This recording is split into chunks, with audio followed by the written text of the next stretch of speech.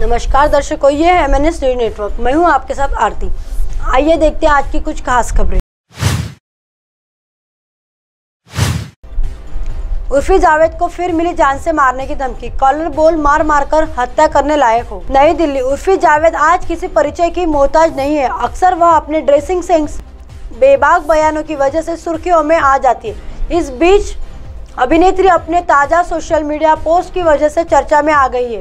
उन्होंने दावा किया है कि बॉलीवुड के मशहूर निर्देशक नीरज पांडे के ऑफ़िस से उन्हें जान से मारने की धमकी दी गई है। डायरेक्टर के ऑफ़िस से आया फ़ोन। वीडियो के बाद उर्फी ने शेयर करा।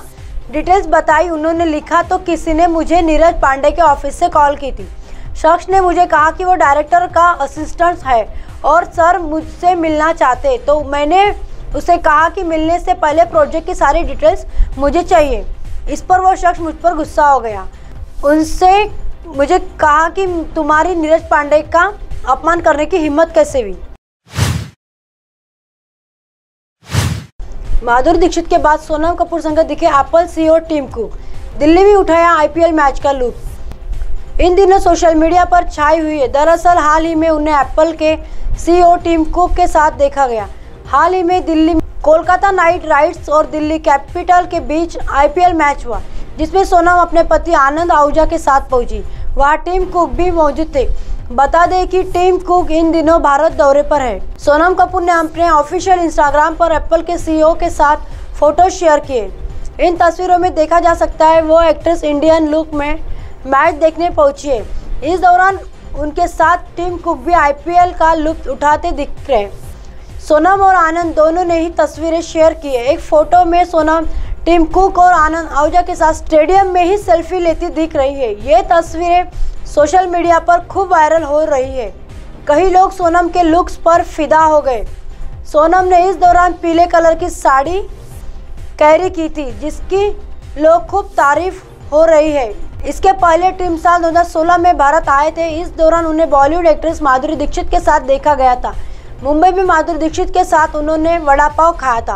अब सोनम दूसरे एक्ट्रेस है जिनके साथ टीम को एंजॉय करते देखा गया है। बता दें कि 18 अप्रैल को मुंबई में उन्होंने एप्पल के पहले स्टोर का उद्घाटन किया है। इस नए और बेहतर कदम के लिए सोनम और आनंद ने टीम कुक को बधाई भी दी है, जिसके लिए टीम ने कपल का शुक्रिया अदा किया है।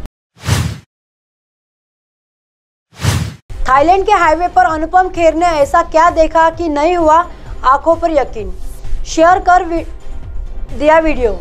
अनुपम खेर अक्सर जहाँ भी जाते हैं, वहाँ के वीडियो अपने फैंस के साथ शेयर करते रहते हैं। इन दिनों अनुपम थाईलैंड के शहर बैंकॉक में है, जहाँ से उन्होंने एक वीडियो शेयर किया है। इस वीडियो में भगवान शिव, माता पार्वती और भगवान गणेश की प्रतिमा की बहुत सुंदर प्रतिमाएँ दिखाई दे रही है, जिसे देख अनुपम खेर चौंक गए। दरअसल भारत में तो अक्सर भगवान की प्रतिमाएँ देखने को मिल जाती है, लेकिन विदेशों में ये प्रतिमाएँ देख अनुपम खेर चौंक गए।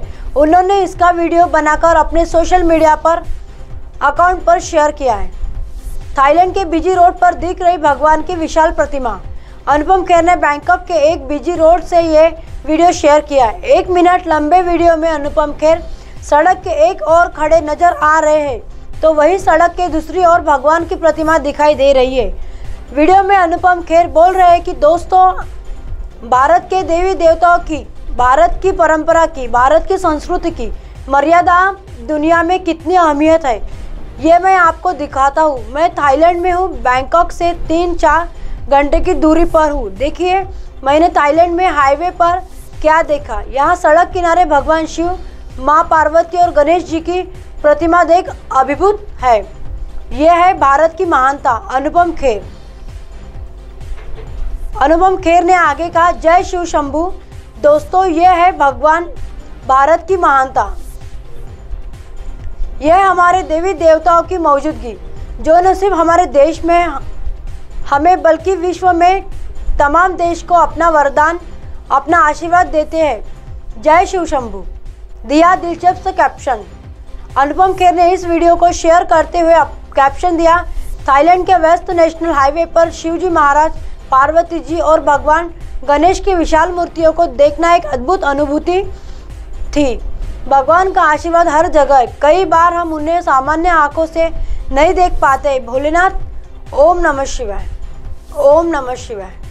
अब आप हमारे चैनल को आपके मोबाइल पर भी देख सकते हैं। मोबाइल ऐप पर देखने के लिए प्ले स्टोर से M N S news T app download करें insta link Twitter Hike Koo Facebook और कई सोशल मीडिया के प्लेटफॉर्म पर हमारा चैनल उपलब्ध है। आप इसे यूट्यूब पर भी देख सकते हैं। आप हमारे चैनल को लाइव भी देख सकते हैं। www.mnsnews2.com पर। फ़िलहाल वक्त तो चला दर्शकों ब्रेक का। ब्रेक से लौटने के बाद देखिएगा। देश और दुनिया की तमाम खबरें। बने रहिए एम न्यूज़ पर। नमस्कार।